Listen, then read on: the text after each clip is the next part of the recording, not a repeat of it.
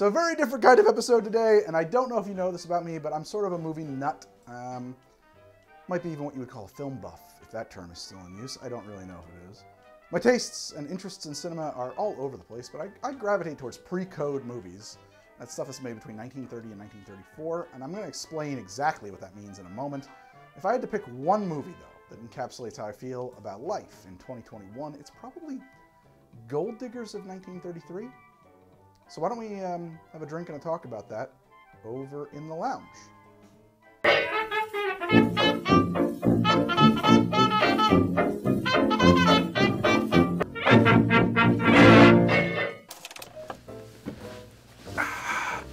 So first things first, this is going to be a bit of a different kind of an episode if you can't already tell. I've done drinks from movies previously, but the focus in those older episodes is always on the drink. There aren't really episodes about the movie. this is going to be the reverse of that. Don't worry, there's still to be drinks here, but it's sort of a new kind of an episode that I'm testing out. And if it happens that you guys like this sort of thing, I got plans to keep it going on an occasional basis. Maybe um, maybe one of these a month if I can manage it. Now, as I've said, I love pre-code movies, uh, but maybe I need to explain what pre-code means. Nowadays, you got the MPAA, that's Motion Picture Association of America, rating system, which categorizes movies based on content. You know what that is. That's uh, G-rated, PG, PG-13, um, later in edition, uh, R, NC-17. That system was created in 1968, and it's evolved a bit since then.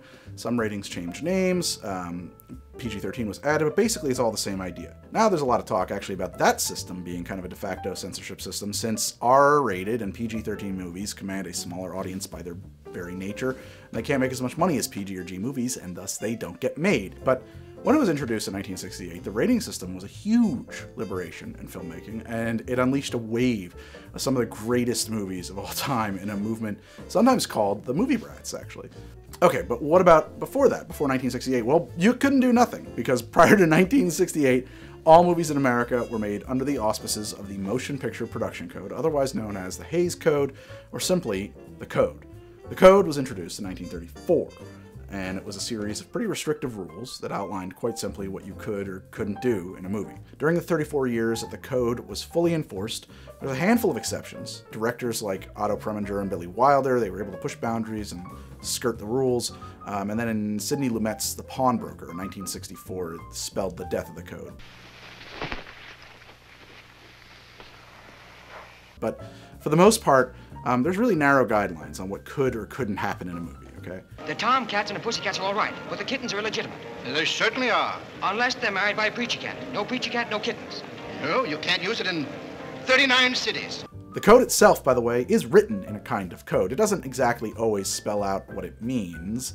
Like when it says, correct standards of life subject only to the requirements of drama and entertainment shall be presented, or law, human or natural, shall not be ridiculed, nor shall sympathy be created for its violation. Everyone knew what these guys meant when they said you need to uphold natural laws and correct standards of living. There's a lot of details too, and I'm not going to go into every single clause, but I will put a link down there for you to read it yourself if you want. I mentioned that the code was also called the Hays Code. That's because it was administered by William H. Hays, a politician and organizer for the Republican National Committee, and a member of the Harding administration, until it was actually that he turned out to be a big criminal It right smack dab in the center of the Teapot Dome scandal. He somehow recovered from that Teapot Dome scandal and slithered EA westward from the Harding admin to become the chairman of the Motion Picture Producers and Distributors of America, where he got to work, because of course he did, quickly trying to make sure only the right kinds of movies got. At that time, that wasn't exactly 100% without merit because the states, and sometimes even individual cities in America, had their own censorship boards, and the studios were jumping through hoops trying to satisfy them state by state to get their movies shown. Sometimes different states would get different edits of the same movie. You must put braziers on those dolls. you know Connecticut. Hmm. What do they have to do in Massachusetts? Wear red flannel drawers? So right now, you might be asking yourself, what about the First Amendment? How could we even have censorship boards in America? Well, in 1915, the Supreme Court decided Mutual Film Corp versus Industrial Commission of Ohio and determined that the exhibition of moving pictures is a business, pure and simple, originated and conducted for profit, and not to be regarded nor intended to be regarded by the Ohio Constitution, we think, as part of the press of the country or as organs of public opinion. So movies, First Amendment doesn't apply. Not at least until 1952, when the court reversed that decision, which was one of the factors in dismantling the code. Anyway, Hays is trying to clean up the movies. Ostensibly, he's trying to get the studios to self censor so the government doesn't get involved. In 1930, a group of concerned Catholics, specifically Martin J. Quigley, Joseph Breen, Father Daniel A. Lord, Father Fitzgeorge Dinneen, and Father Wilfred Parsons, they get together and they draft up the rules that they think the movies ought to abide because they're very concerned about this. The main author was Father Daniel A. Lord. He actually had to get permission from his cardinal to do this. And they hand their code over to Hays, and Hays falls in love with what he sees on the page. He says, This is exactly what I need. So that's in 1930. Hays calls all the studio heads in and hands them out the code and tells them, Boys, this is what we gotta do. We've got to protect our phony baloney job, gentlemen. And they kind of agree. Harumph, harumph, harumph. But they also ignore the living hell out of it. I didn't get a harumph out of that guy. because they liked the idea of using the code and Hays Code Office as a shield against state censorship boards, but they had zero intention of actually doing the things it said. As long as they could say, hey, hey, hey, I'm abiding by the code, they could convince state censorship boards to kind of be like, all right, well, if the Hays Code is being enforced, all right, fine, we don't need to censor this. You know, that was the idea. Until 1934, when Catholic churches across America organized their adherents to threaten a boycott of all movies. And then the studios agreed to cede control of the film's content to the Hays Code Office, and thus the era of censorship begins in earnest. To put that in perspective, I mean, Hays is trying to avoid the government getting involved in the censorship business because it's bad if the government is doing it, and it, I mean, it is. But what he's ended up doing is consolidating an enormous amount of power into his own office to control the content of everything that goes into movies in America, where, by the way, the movies get made. At this point, you know, you still have, um, it's pre World War II, so you have a lot of European cinema. German cinema is obviously, well, well, well let's leave Germany alone, actually.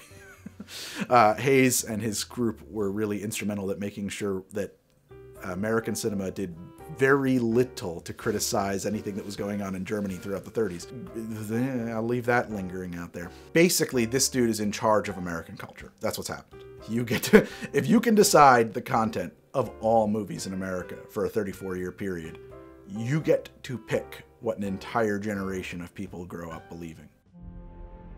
Why don't you finish the job? I thought maybe you might have some conscientious objections to it.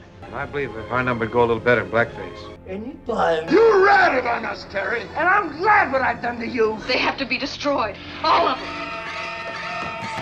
them. Uh, man talk.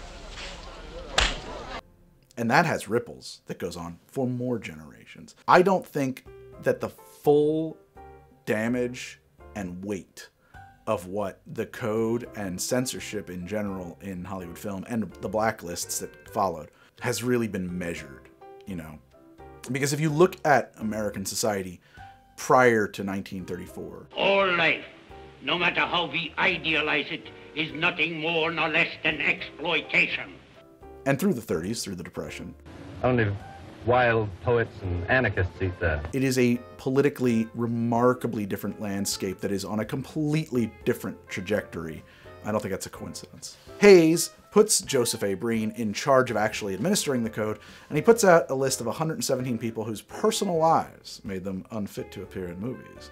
These are largely people who are gay, uh, or a little too Jewish, or a little left leaning. Uh, there's a lot less written about the Hays blacklist uh, rather than the later HUAC blacklists and so on. Uh, but a great documentary, The Celluloid Closet, covers it at least to some degree. So that covers the rules that governed how we made movies from 1934 to 1968, and then from 1968 until today. But what about prior to that? What about between 1934 and 1930? Well, that is the era that we call pre-code, and that is where you get some really amazing movies made. Um, prior to 1930, one, you're, you're dealing then with early talkies, which are not known for being great. I guess that's no secret. Uh, they were still figuring out how to deal with speaking. And silent films came before that, which are often amazing.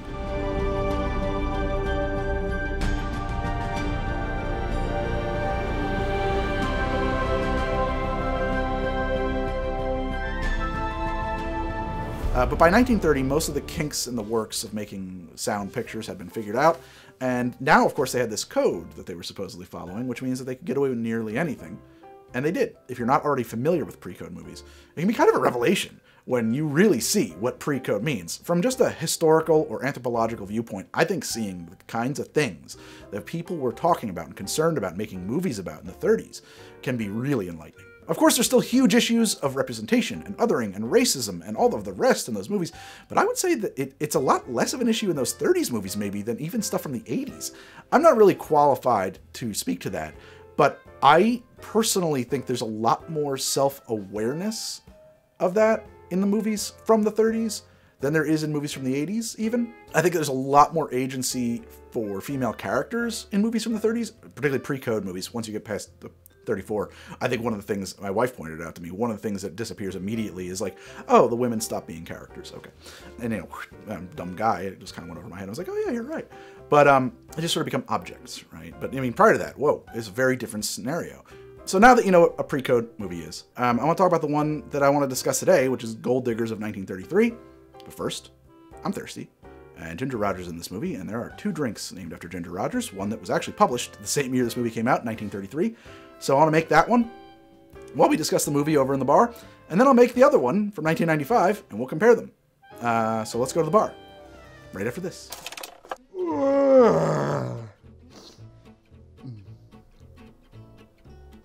Look, I, I, I love the absolute simplicity of a bowl of cereal in the morning. I'm tired. I got a day ahead of me. And I'm hungry. Pour, pour, eat. That's an extremely tempting kickoff for the day. And it doesn't hurt. I was basically raised on the stuff. That stuff, uh, you know, stuff that was candy masquerading as a healthy part of a complete breakfast. Clever bit of legalese there. And it's all undeniably delicious. But, you know, you can't actually eat like that anymore because it's garbage. Until I found Magic Spoon.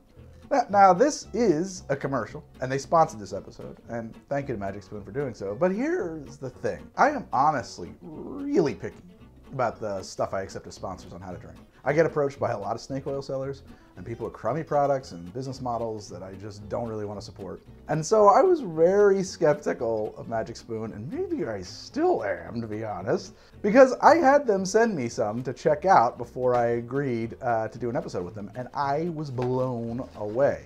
This stuff tastes exactly like the cereal I grew up with and shouldn't have been eating. But it is completely not garbage. Zero sugar, 13 or 14 grams of protein, and only 4 grams of carbs per serving, and only 140 calories per serving.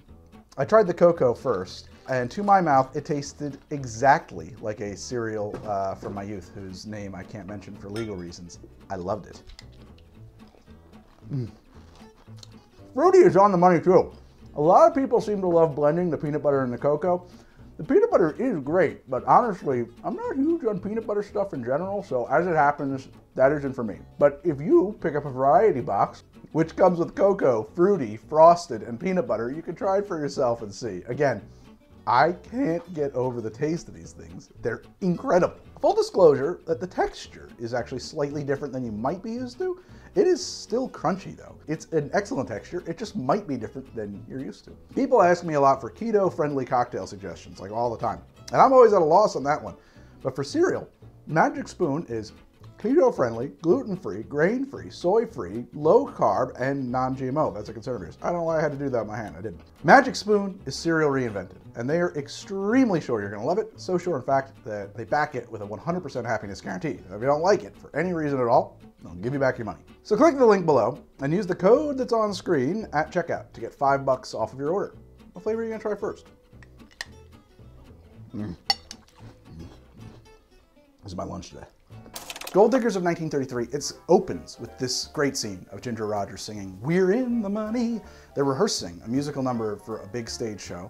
Um, that same year, 1933, this book Hollywood's favorite cocktail book claimed to contain the favorite drinks of the biggest stars, for whenever that becomes legal again, later that year, uh, and features a Ginger Rogers cocktail, which is one part French vermouth, one part dry gin, one part apricot brandy, and four dashes of lemon juice. Shake and strain. Four dashes of lemon juice is a little bit of a weird one there. I mean, I could put lemon juice into a dasher, but I think it'll probably clog it. Um, I really think that four dashes here is probably equivalent to something like a quarter to a half an ounce. Uh, and the parts are probably three quarter ounce pours. I'm working off of what I know about cocktails from that time period. The other thing about that too is it says apricot brandy, and then there's always a question of, well, do they mean uh, brandy made from apricots, or do they mean brandy flavored with apricots? Hollywood, 1933. I'm thinking that they mean literally this, Leroux apricot flavored brandy, and I, I, think that that's what you actually want for this drink. So let's make it. And uh, thinking about that time period and everything, and the setting and the place, I feel like this gold Parisian shaker is probably the right one to use. There's been a lot of gold lately in my uh, drink making. So I'm using Dolin Blanc. I think when they say French vermouth, I think that the Blanc is what's being referenced. I mean, that's it just says French vermouth, so I guess it's open to interpretation. But I think a dry vermouth in this cocktail from the other ingredients um, might be a mistake. I think it's probably the Blanc. Let's put it this way. Typically, when I opt for the Blanc over the dry, if there's a question, I'm happy with the choice. That's just generally how it goes. I like the Blanc vermouth. I think it has a lot more um, character. So, three quarters of an ounce Dolin Blanc vermouth, three quarters of an ounce Leroux apricot brandy. That's the good stuff. My grandmother was always a fan of the blackberry, and three quarters of an ounce of a dry gin. Um, I'm using Aviation today. I happen to like Aviation gin. I happen to like Ryan Reynolds. I would love to work with Ryan Reynolds. Ryan, if you want to do anything with your gin and my channel, I'd be more than happy to accommodate you. You can come to the lovely garage I produce it from in beautiful New Jersey. It'd be great. I'm gonna slice my lemon in half. And I said that I suspect that four dashes is a half an ounce in this case, and I I think that's right. I think a dash is probably an eighth of an ounce by that count. Just guessing, just guessing. Well, let's put some ice in there. Boom. Our ice is in the shaker and now goes in our drink. I find that these shakers are a little bit more prone to blowing out than other ones, so I'm a little bit careful with this one. I would say take it real slow at first and then go crazy.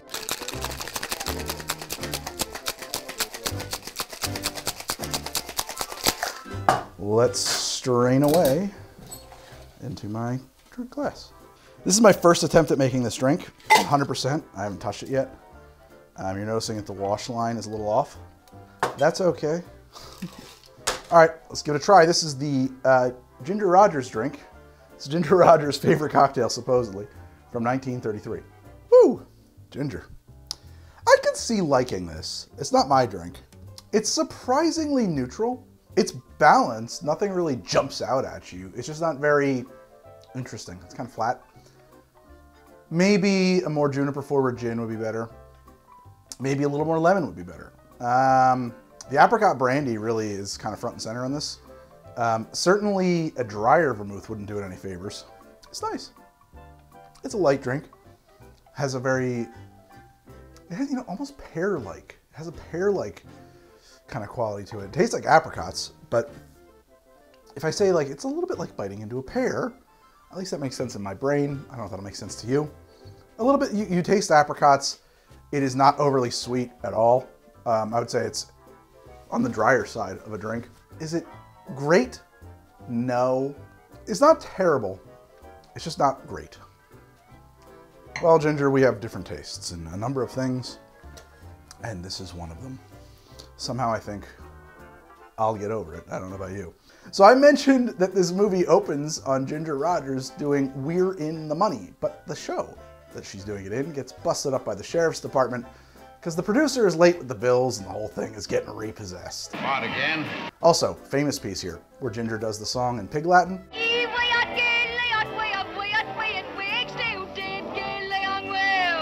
She showed that off in rehearsals, or perhaps Busby Berkeley overheard her speaking in Pig Latin in rehearsals, and into the movie it went. Uh, Gold Diggers is a movie about and of the Depression. It's central Uh, to its setting and plot. The Depression, Derek. it follows three young down and out chorines who are just trying to get by and survive. You guys cut the bread and set the table. Have we any bread? Yeah, have we any table? Ginger is actually something of a foil to our heroines, a, a light antagonist. You look like Eunice. You do look like Eunice. Ouchie! I love this movie.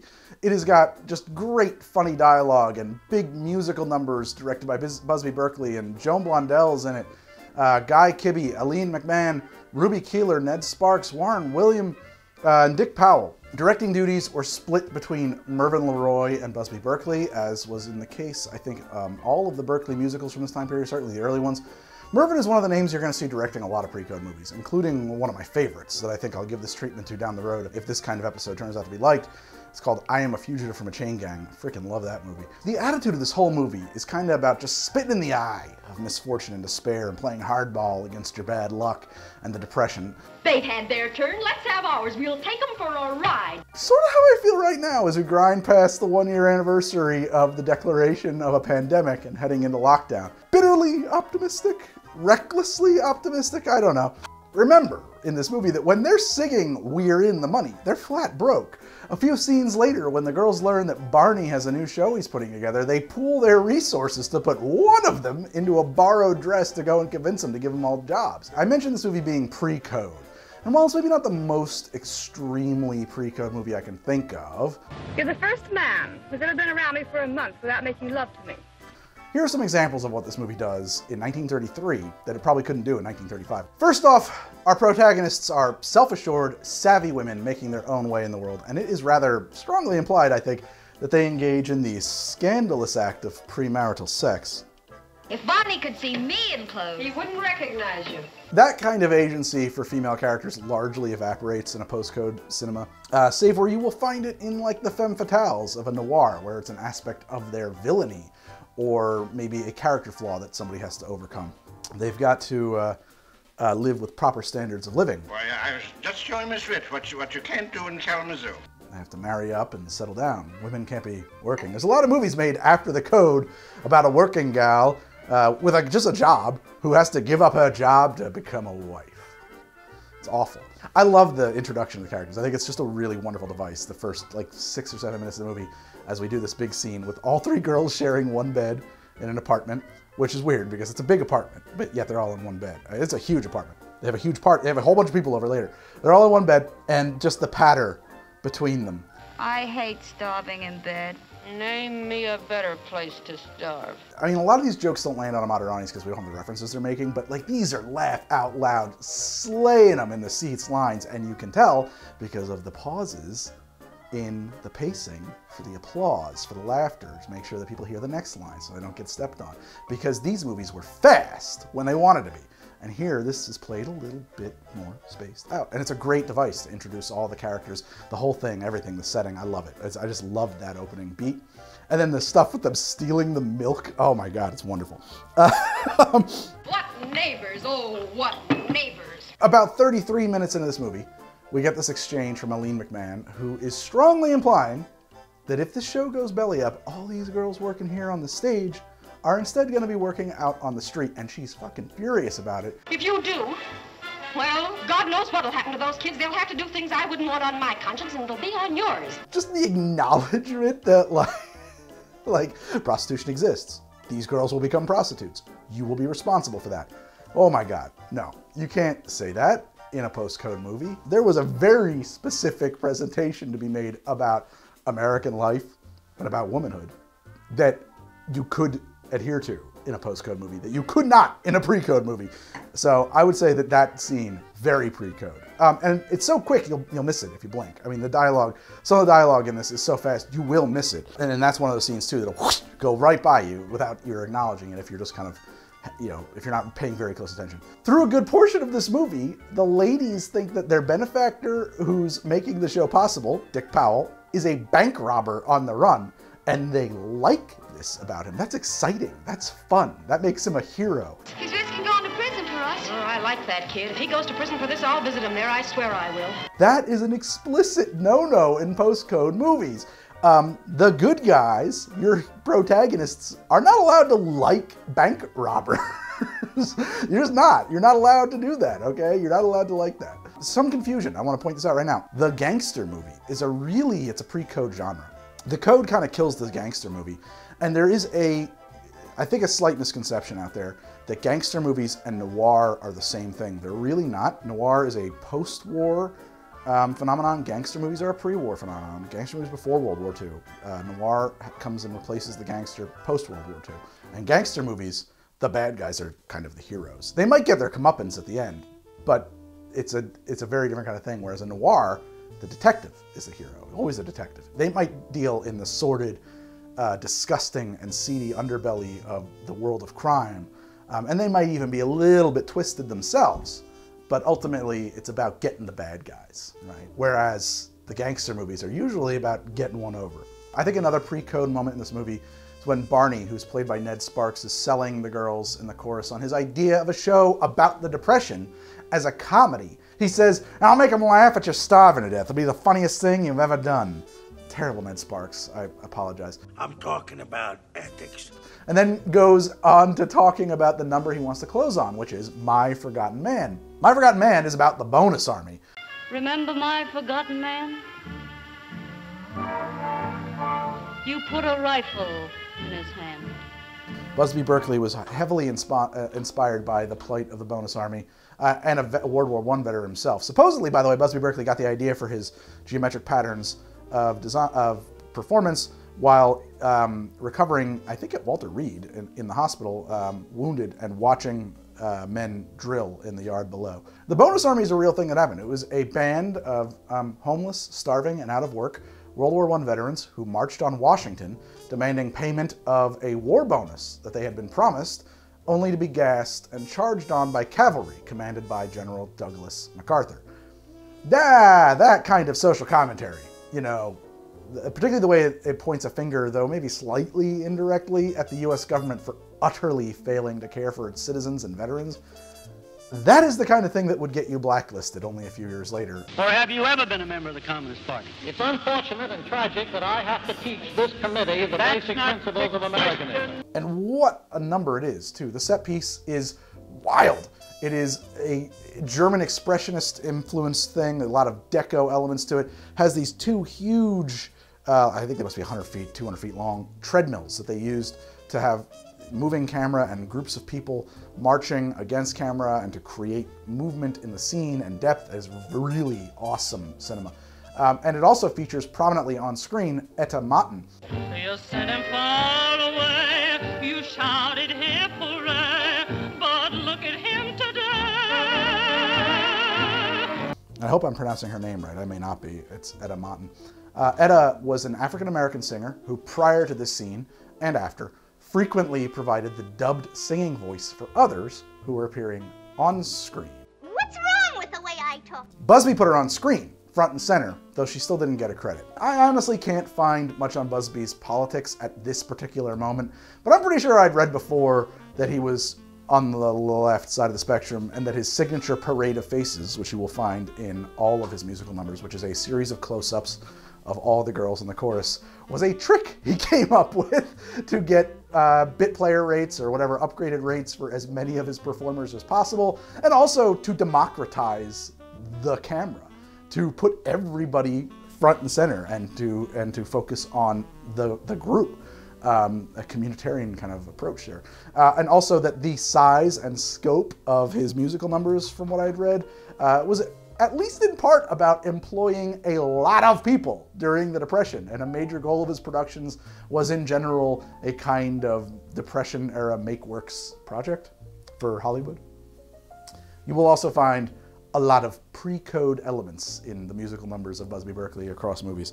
They're quite titillating, might I say. We're having a nice time here, Ginger. There is another Ginger Rogers cocktail. Think of my reputation. And it seems appropriate to pair that with this movie as well, of course, why not? I hope I get this guy's name right, but this other Ginger Rogers cocktail was invented in 1995 by Marcovaldo Dionysos at a Portland bar called Zefiro. And I haven't looked up to see if it was still in business or not, I hope it is. So let's compare the 1933 drink to the 1995 drink and see which one is better. They're completely different concepts in drinks, by the way. This one's a highball. So we're gonna need a highball glass, and we will need some fresh mint leaves. And although these are a little bit wilted, they're pretty fresh. Um, I did just buy them. So we're gonna need 10 or 12 of these. One, two, and we'll call that 12. Yeah, let's put a couple extra for good measure. I like mint. And you got a muddler. Just give that a little press. A little muddling. Don't go crazy. Now, I need three quarters of an ounce of ginger syrup.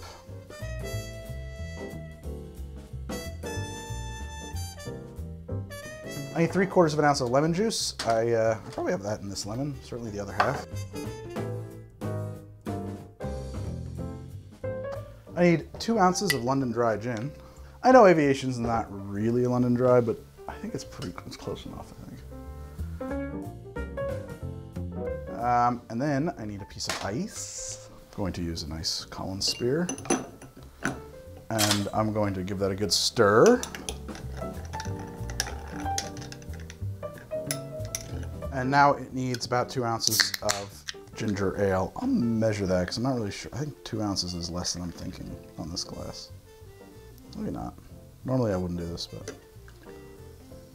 Oh no, that's perfect. Exactly where I would have poured to. And a straw. It's garnished with a sprig of mint. There we go. And this is Marcovado Dionysos's Ginger Rogers. That's delicious. It's like a, um, ooh, it's like a gin mojito. I love that. That's really great. A little bit of ginger heat, which is nice. I think that you could have switched the ginger ale for ginger beer and cut the ginger syrup. Probably that's what that's doing there. And then, um, but I, I really like it. I love the interplay of the mint, the lemon, the ginger, and the gin. They complement each other really well. It's super well balanced. It's a touch on the sweet side. It's a tall, sipping drink. It should be it's just nice. It's very nice. There is a little bit of something in there that's unexpected. What is that? I think my ginger syrup is slightly fermenting. Maybe that's what that is. I like it. It's very good. It's um, it's fresh, delicious. It's a good spring drink. You might try it. I would be curious to try it with ginger beer, like a cock and bull, instead of the ginger syrup slash ginger ale. Um, then maybe it would need a touch of simple syrup to back sweeten it or something like that. I'm going home. I'm not going to stand being insulted like this. So I mentioned before that some movies were being distributed with alternative cuts in them to satisfy local censor board requirements, and that includes Gold Diggers of 1933. Some of the musical numbers in this, namely uh, Pettin' in the Park and We're in the Money, had content that simply couldn't pass censorship boards in some places, so special cuts were made, one for Kansas, one for New York, and so on. Ah, there. Look at that. How can you expect to keep up a high moral tone with that going on?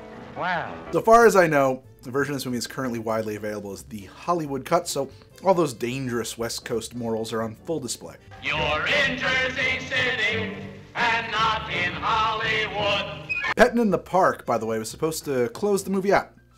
But after seeing Remember My Forgotten Man, Darryl Zanuck and Jack Warner insisted that the movie be recut to finish with it as a blowout gut punch.